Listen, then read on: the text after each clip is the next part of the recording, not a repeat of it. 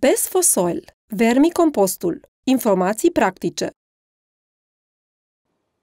Acest videoclip Best for Soil vă introduce în producerea și aplicarea vermicompostului. La sfârșitul videoclipului veți găsi informații suplimentare despre aceste subiecte. Vă rugăm să vizionați celelalte videoclipuri Best for Soil despre subiecte legate de sănătatea solului și compost. Compostul este un produs care rezultă din descompunerea microbiană a materiei organice în condiții aerobe. În funcție de metoda de compostare, dimensiunea, intensitatea procesului și materia primă, se poate produce o gamă mare de composturi cu calități diferite. Vermicompostarea este cel mai natural proces de compostare. El implică viermi epigeici, cum ar fi Eisenia fetida.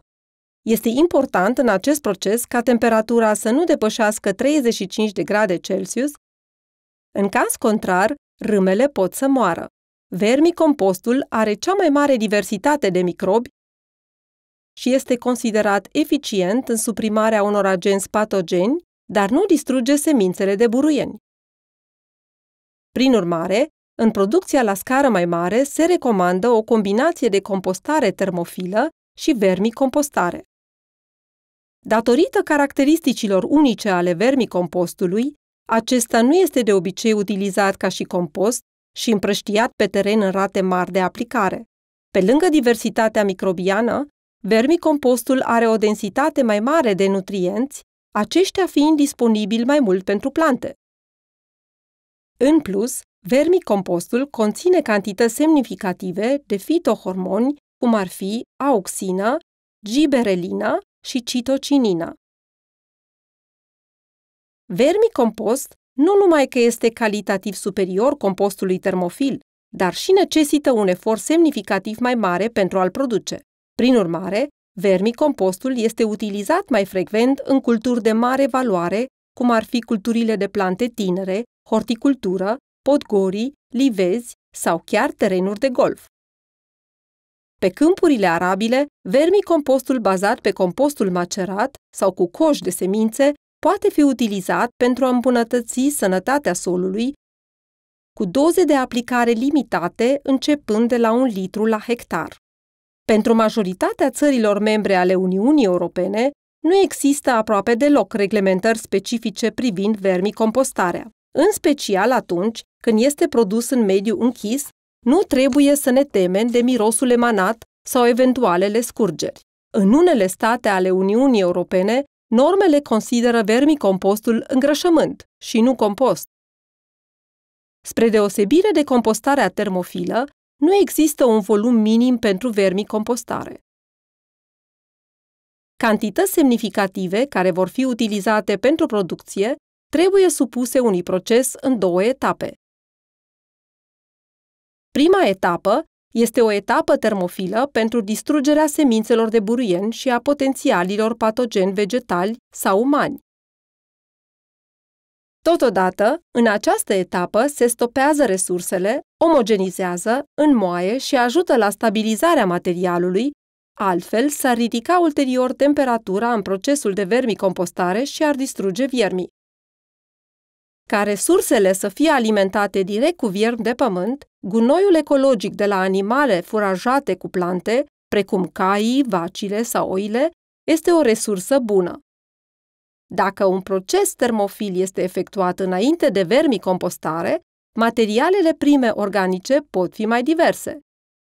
Pe lângă râme, materiile care se mai adaugă ar trebui să aibă un raport carbon-azot de 25 la 1. Viermii de pământ au o gamă restrânsă de condiții de mediu favorabile pentru a permite o productivitate optimă maximă. Acest aspect trebuie monitorizat și controlat în mod regulat. Temperatura optimă este cuprinsă între 15 și 30 de grade Celsius, iar râmele supraviețuiesc între 0 și 40 de grade Celsius.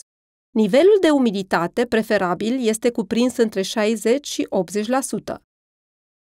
Oxigenul trebuie să fie disponibil în orice moment în zona de vermicompostare, care este furnizat și prin fluxul de aer.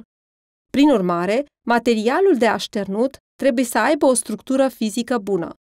pH-ul materialului trebuie să se încadreze în intervalul 5-8, iar nivelul de sare nu trebuie să fie prea mare. Operațiunile de vermicompostare profesionistă se desfășoară pe tot parcursul anului. Dacă climatul local nu permite producția pe timp de iarnă, aceasta se poate face în interior. În sistemele de interior este sporită atenția asupra instalațiilor cu flux continuu. În afară de producția acestor composturi, este important să se monitorizeze și calitatea compostului produs. Am pregătit un videoclip pe Sfosoil despre acest subiect. Reglementările referitoare la aplicarea vermicompostului diferă pentru fiecare stat membru al Uniunii Europene. În general, vermicompostul este considerat compost sau îngrășământ. Prin urmare, pentru fiecare utilizare se pot aplica norme diferite, iar operatorul trebuie să se asigure că urmează cu atenție aceste norme. Pe lângă aplicarea ca îngrășământ, datorită valorii produsului, vermicompostul este adesea utilizat în cantități mici. Extractele precum composturile macerate sunt utilizate pentru tratarea semințelor, ca hrană foliară sau ca inoculant pentru sol. De asemenea, vermicompost poate fi utilizat pentru a-l depune pe răzoarele de semințe sau utilizat ca amendare pentru substraturile de sol sau ca stimulator la plantarea viței de vie sau a livezilor. Producția de compost este un proces care are nevoie de multă cunoaștere și de o anumită experiență pentru a produce un material de calitate. Dacă doriți să obțineți mai multe informații despre compost, nu ezitați să consultați site-ul Best for Soil, unde puteți găsi informații suplimentare.